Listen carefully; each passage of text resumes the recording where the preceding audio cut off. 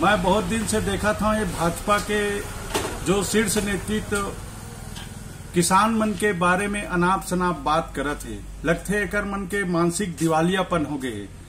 एकर शीर्ष नेतृत्व मन है किसान भाई मन ला आतंकवादी बोलते ओकर बाद आज हमार प्रदेश में, छत्तीसगढ़ में एक कद्दावर पूर्व मंत्री, जो कृषि मंत्री भी रह चुके हैं, ओकर स्टेटमेंट ला देखो। ओकर कहने हैं, किसान नक्सली हैं। शर्म आना चाहिए ऐसे एक अनुभवी नेता को हमारे किसान भाइयों के बारे में ऐसा बोलना।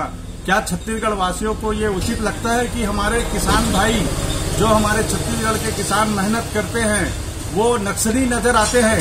इसलिए हम लोगों ने कल ब्रिजमोहन अग्रवाल जी के यहाँ हमने उसके बंगले में घेराव किया। भाजपा की केंद्र सरकार ने तीन काले कानून लाए, जो किसान विरोधी है। देश भर के किसान आंदोलनरत है। अब दिल्ली बॉर्डर से यह आंदोलन पूरे देश में फैल रहा है। भाजपा अपनी ज़मीन खसकती देख के परेशान है। इसलिए किसानों के खिलाफ भाजपा अनर्गल बातें कर रही है। इस देश के किसानों को भाजपा ने कभी आतंकी कहा, कभी खालिस्तानी कहा, कभी मवाली कहा। हाल ही में एक भाजपा नेता ने नक्सली तक कह डाला किसानों को। 36 लाख किसान हैं छत्तीसगढ़ में।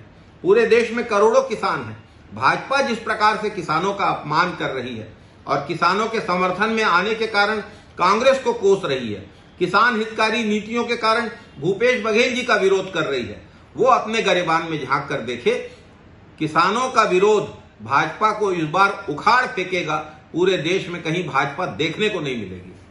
देखिए, छत्तीसगढ़ में कृषि सुधार विधेयक बिल के विरोध में जिस तरीके से राकेश टिकेत और उनके साथ में तथाकथित जो किसान नेता छत्तीसगढ़ में आए थे, ये आए नहीं थे, ये कांग्रेस पार्टी की सरकार ने इनको सुनियोजित तरीके से छत्तीसगढ़ में यहाँ का माहौल खराब करने के लिए यहाँ पर बुलाया था। ये पूरे इवेंट का मैनेजर अगर कोई था तो छत्तीसगढ़ के मुख्यमंत्री भूपेश बघेल और कांग्रेस पार्टी के सदस्य थे।